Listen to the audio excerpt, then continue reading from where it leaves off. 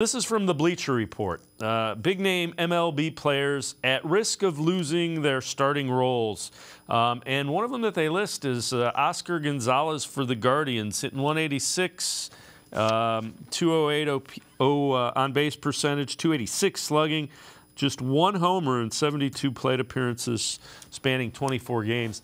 Um, Hoynesy, it seems like it's going to end up being, to me, it, it, looks like it's been a platoon with Will Brennan going against right-handers and Gonzalez going against lefties.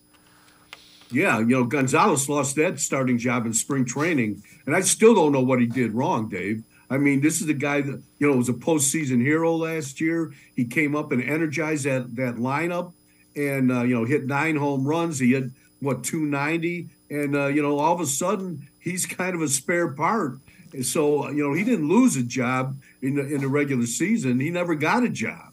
Yeah, and, and um, you, you know again when he's had the opportunity, you can tell he's chasing some things and and um, and trying to do a little bit too much. I think he's trying to get back into the uh, into the lineup against righties. Some is is kind of the mindset.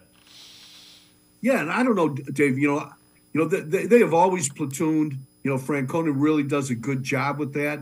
But in this case, I think you're hurting both guys, Brennan and and Gonzalez. Neither one is hitting that much. You know, uh, Brennan had that you know really good stretch there. Then they ran into what like in seven in eight games they faced seven left-handed starters. So Gonzalez, you know, got those at bats. And when Brennan came back, he had lost his stroke. So you know, I, I don't know if you've got to decide which one. There's got to be one guy that plays out there. But right now, that platoon isn't working.